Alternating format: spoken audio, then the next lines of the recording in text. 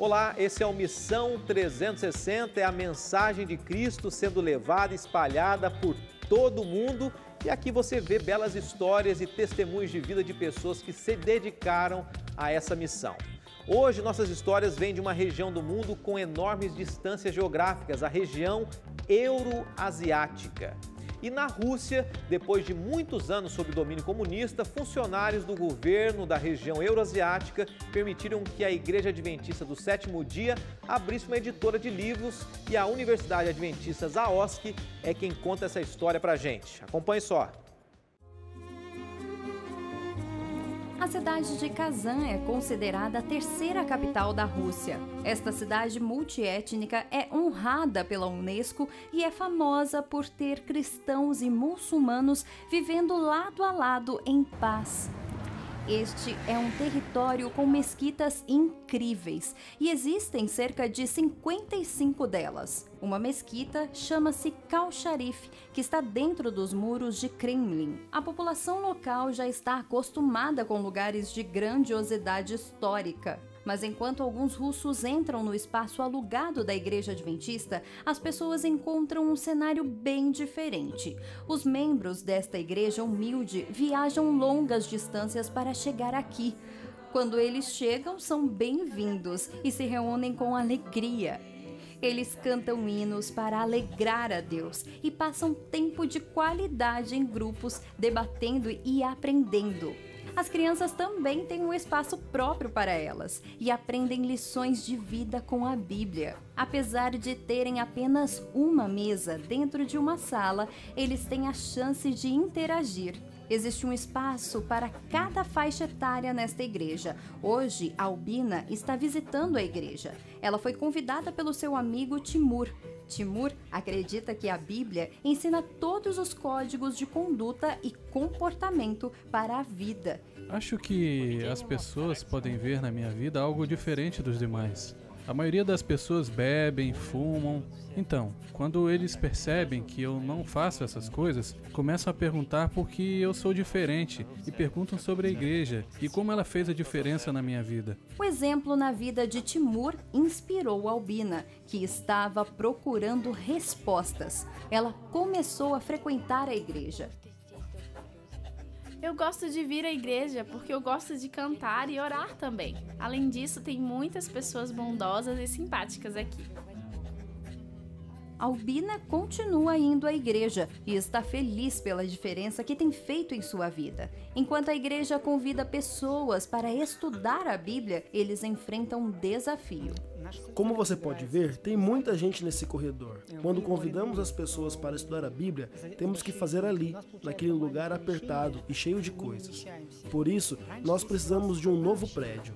Claro que também fazemos trabalhos fora da igreja, distribuindo literatura e convidando as pessoas. Mas também precisamos fazer este trabalho dentro da igreja. O lugar que eles ocupam hoje é uma de três igrejas na cidade.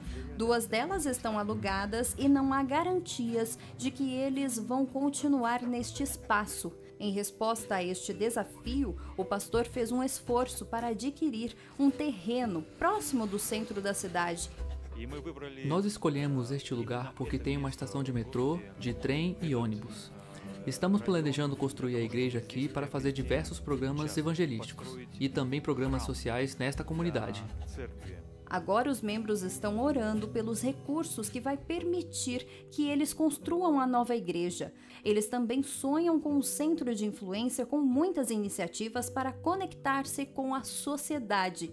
Como em muitos lugares, Deus pode estabelecer esta igreja fisicamente e espiritualmente. Olha, a Rússia no geral é um país muito frio, um clima frio e com certeza tem os seus grandes desafios. Por isso eu queria desafiar você a orar por esse país, pela missão nesse lugar. E os desafios não são somente o clima, mas acima de tudo, realmente os desafios espirituais. E como resultado da distribuição de literatura na Rússia, hoje Lídia trabalha embalando jornais cristãos. Veja essa interessante história.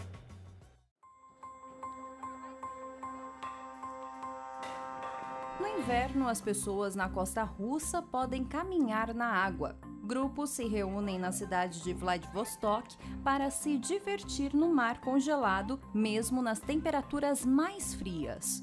Vladivostok é uma cidade portuária no extremo leste do país. A economia da cidade depende fortemente do mar para o transporte marítimo e a pesca. Existe apenas uma igreja adventista do sétimo dia para servir uma população de mais de meio milhão de pessoas.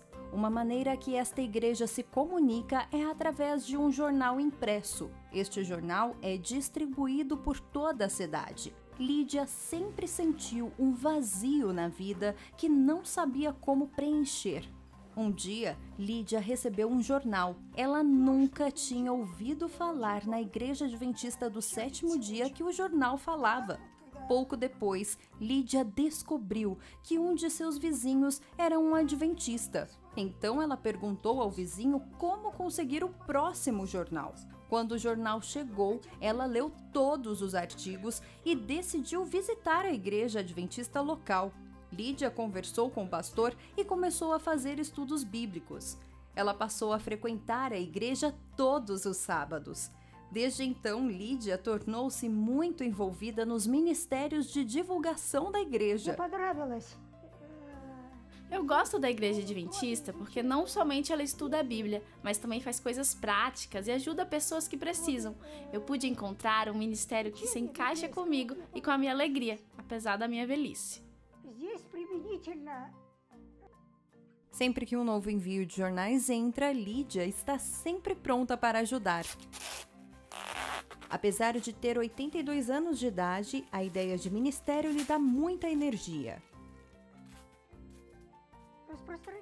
Eu participo na distribuição de jornais. Primeiro, classificamos o que pode ser um processo cansativo. Então, nós os levamos e distribuímos em caixas de correio e na rua. O Ministério do Jornal é apenas um dos muitos tipos de divulgação que esta igreja faz.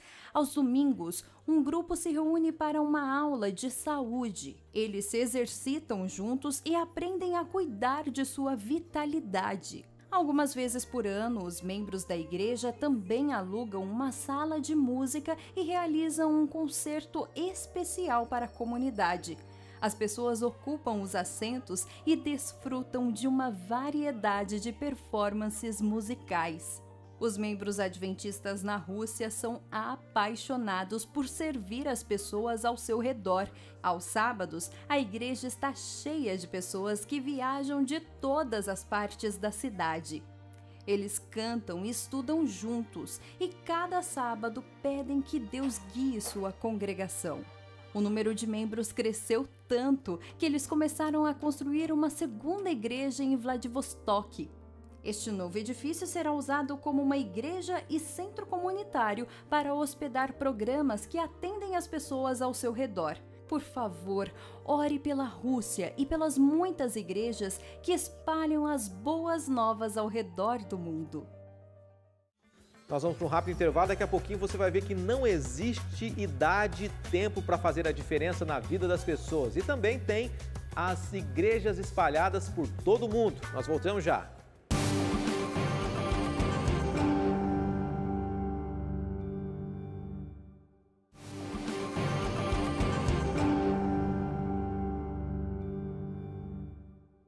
E agora chegou o momento de nós conhecermos algumas igrejas aqui no Brasil e também fora do Brasil, por todo o mundo. A gente começa com igrejas, primeiro as igrejas de fora, pessoas que enviaram a foto através do Facebook. A primeira delas é a Igreja Adventista Belil, na Romênia. O Mários foi quem enviou pra gente. Obrigado, Mários, por ter enviado essa foto. Com muito carinho, a gente agradece a você que acompanha o Missão 360 através da internet na Romênia. Um abraço para todos e em especial para a Igreja Adventista Belil. Mais uma igreja, Igreja Adventista São Francisco, Vila Nova, no estado do Pará. O Marco Aurélio foi quem enviou para a gente. Muito obrigado, Marco Aurélio. Uma grande logo ali da TV Novo Tempo, ao lado da Igreja Adventista também. Com certeza existem pessoas que têm ido até essa igreja, acompanhado a TV Novo Tempo. E que Deus seja louvado, que vocês dessa igreja abracem essas pessoas, acolham que realmente façam o papel de um verdadeiro missionário cristão, tá bom? Um abraço para a Igreja São Francisco. A última agora, a Igreja Adventista Jardim Ternura, que fica em Tatuí. A Maria Olga da Rosa foi quem enviou para a gente. Um abraço carinhoso para todos aqui do estado de São Paulo e em especial para Tatuí e para o Jardim Ternura. É muito bom ter você junto com a gente. E a gente vê essa bela foto aí com a logo da Igreja Adventista, o símbolo da Igreja Adventista e também a logo da TV Novo Tempo. Espero que seja mais uma igreja que tenha acolhido também aqueles que assistem a TV Novo Tempo. Que você faça isso também aí na sua igreja. Se você quer conhecer também uma igreja próximo da sua casa, do seu trabalho, você conhece. Se não conhece ainda, o site é encontreumaigreja.com.br. Lá tem um espaço para você colocar o endereço e vão aparecer as igrejas mais próximas do endereço que você está. E a próxima história prova que não há limites de idade para a missão. Aos 64 anos, Ivan está feliz trabalhando onde não há congregação adventista na Moldávia. Acompanhe comigo.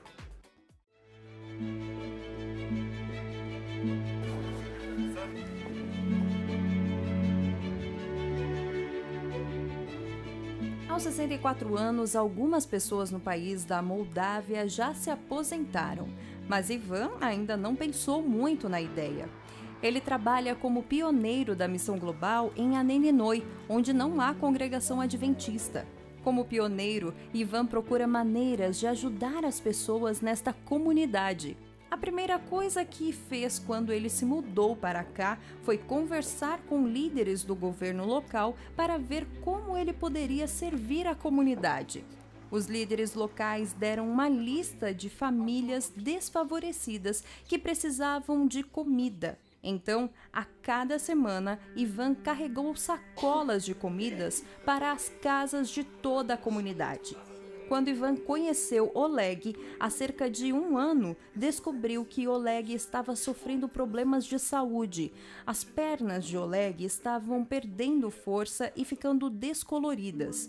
Na época, ele bebia e fumava muito. Todos os domingos, Ivan realiza programas sobre vida saudável que são abertos à comunidade. Oleg concordou em participar de um desses programas e depois ele imediatamente deixou de fumar e beber e sua saúde melhorou. Agora ele é capaz de caminhar em todos os lugares. Infelizmente, a esposa de Oleg, Alexandra, também estava com problemas de saúde e agora está parcialmente paralisada.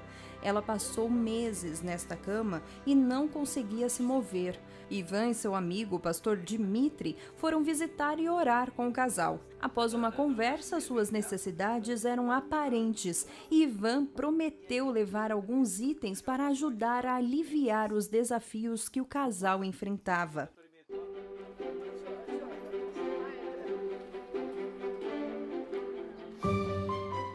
Depois de visitar Oleg e Alexandra, Ivan e Dmitri se encontraram com Lídia, uma mulher ativa de 80 anos com interesse na saúde e no bem-estar. Ela participou de um dos programas de saúde de Ivan após a recomendação de um amigo e estava ansiosa para aprender mais.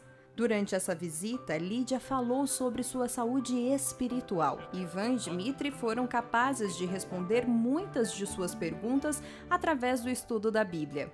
Os pioneiros da missão global, como Ivan, colocam uma forte ênfase nos relacionamentos. Um pioneiro pode ter um impacto maior na vida de uma pessoa.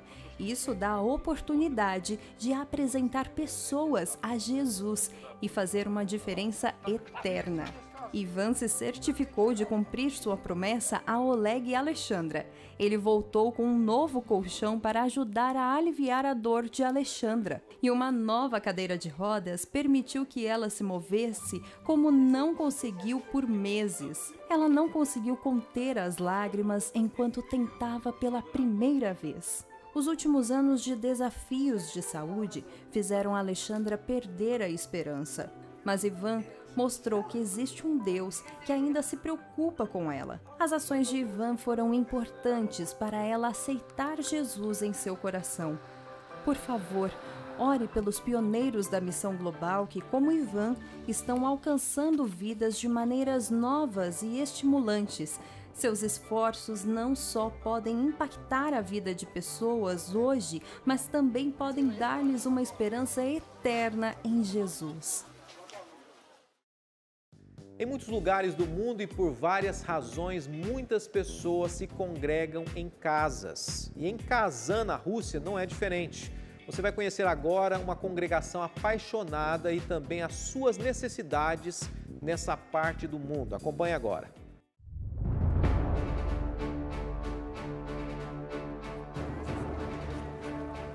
Mensagem da Igreja Adventista na região euroasiática chegou de maneira milagrosa. No passado, os novos conversos dos Estados Unidos mandavam cartas para seus parentes e amigos na Rússia. Isto causou um impacto precioso na época. A igreja cresceu pouco de 1880 a 1990, somente 110 anos depois da perestroika que a perseguição parou e a igreja estava em condições de se organizar. Na Rússia, a igreja continua a usar a literatura como estratégia de pregação do evangelho. A casa publicadora chamada Fonte de Vida imprime livros, revistas e folhetos. Sua missão é desenvolver membros para um serviço melhor e para entender melhor a Bíblia. Estamos distribuindo livros ao redor do mundo para a comunidade russa. Mandamos livros para a Europa, Israel, Estados Unidos, América do Sul e outras partes do mundo. Produzimos cerca de 40 novos livros a cada ano. Produzimos em russo e outros cinco idiomas. Existem algumas estatísticas interessantes. Se juntar as páginas que produzimos desde o começo, daria para chegar até Saturno. São 2 bilhões e meio de quilômetros. Temos uma perspectiva grande para o futuro.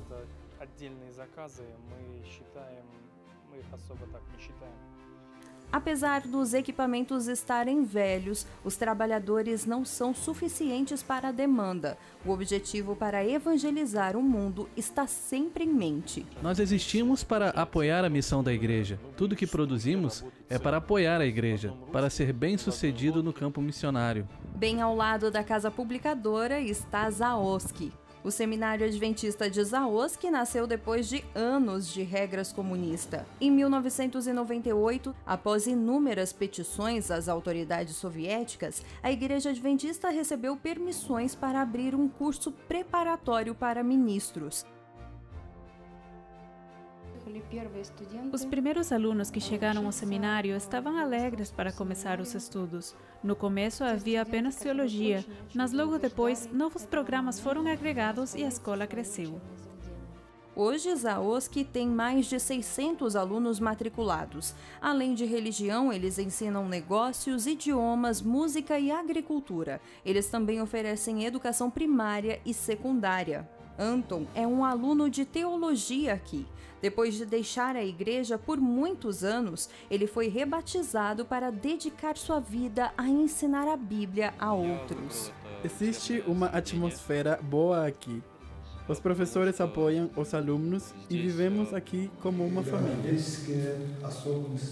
Os pais de Ina vieram da Coreia como missionários. Eles trabalham na região enquanto ela estuda o idioma russo e inglês. Eu gosto muito daqui, porque a natureza é linda, as pessoas são bondosas e isso é uma escola-igreja, com uma educação cristã. Recentemente, a universidade completou 23 anos de serviço.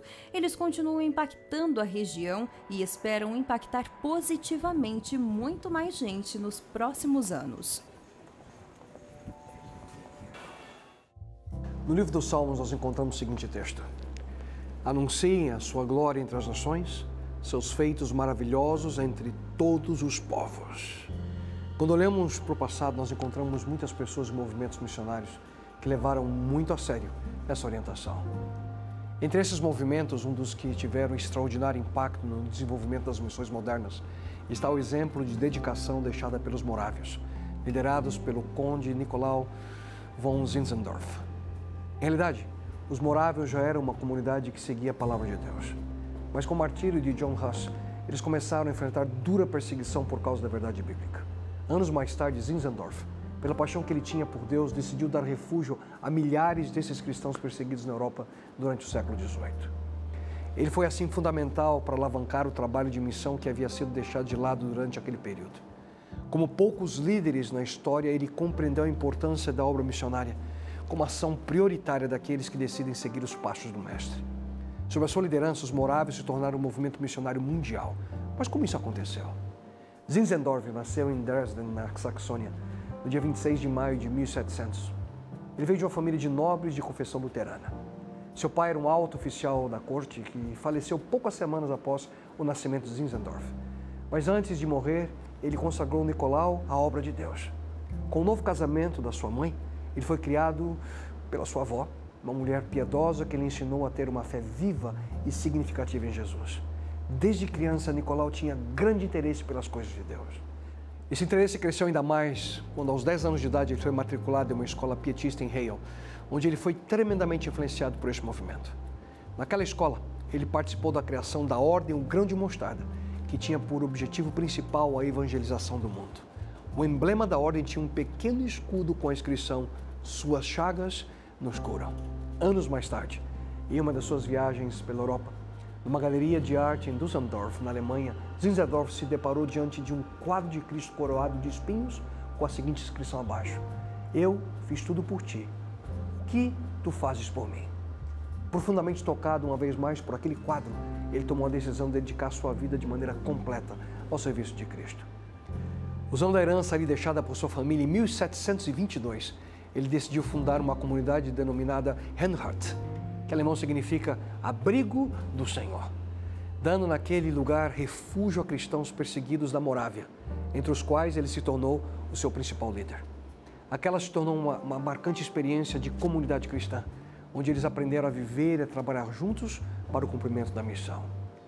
Após cinco anos de existência, ao estarem ali participando de um batismo seguido por uma cerimônia de Santa Ceia, impressionados pelo Espírito Santo, aquela comunidade decidiu iniciar a maior corrente de oração de todos os tempos, que foi mantida ininterruptamente 24 horas por dia, sete dias por semana, por mais de 100 anos.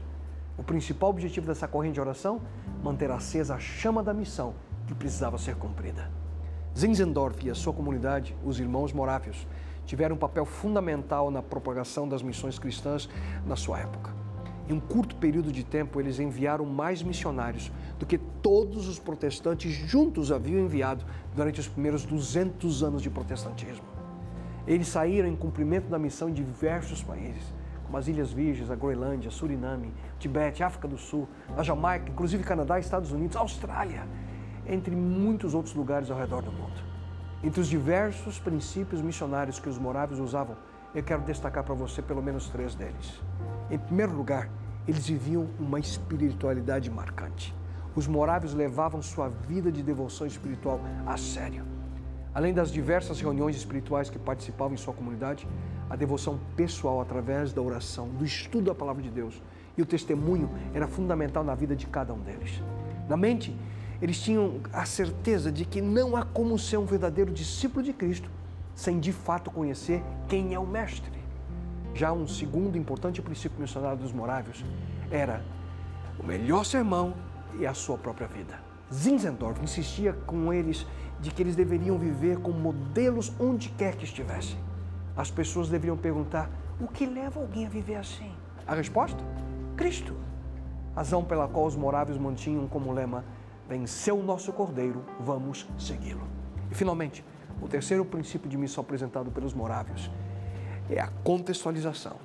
Em suas práticas missionárias, os morávios sempre buscavam apresentar a mensagem do Evangelho de maneira relevante, de maneira cativante à cultura que tentava alcançar.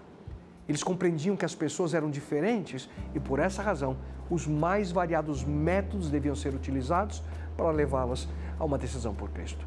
Portanto, eles não forçavam sua própria cultura ou tradições que possuíam as pessoas que entravam em contato. Eles buscavam na cultura local as pontes de comunicação necessárias para o cumprimento da missão. Os moráveis tiveram profunda influência sobre os irmãos John e Charles Wesley, que posteriormente fundaram o movimento metodista, e também sobre William Carey, que decidiu alcançar a Índia através do amor de Cristo e que anos mais tarde se tornou o pai das missões modernas. Como lema de sua vida, Zinzendorf dizia: tem uma única paixão, Jesus. Ele e somente Ele. Essa atitude mudou completamente a sua vida e a vida de milhares de outras pessoas ao redor do mundo. Como você pode ver claramente, quando existe verdadeira paixão por Cristo em nosso coração, algo especial podemos fazer pela missão. Não perca as oportunidades que Deus coloca em seu caminho para também viver essa mesma experiência. Obrigado mais uma vez pela reflexão, que ela tenha alcançado a sua vida e realmente cada palavra faça diferença no seu coração e motive, inspire você cada vez mais a se dedicar aos planos de Deus em salvar outras pessoas. Agora a gente vai acompanhar quais são os destaques da próxima semana no Missão 360. Acompanhe comigo. Na semana que vem, o início do trabalho dos Adventistas Sem Fronteiras no Brasil e algumas missões realizadas por essa organização dentro da janela 1040. E também uma conversa com Samir Costa, o diretor da AFM Brasil, que vai estar no estúdio explicando sobre essa organização. E claro, muito mais novidades e notícias na semana que vem. Eu vou estar aguardando você para acompanhar comigo essas belas histórias no próximo Missão 360.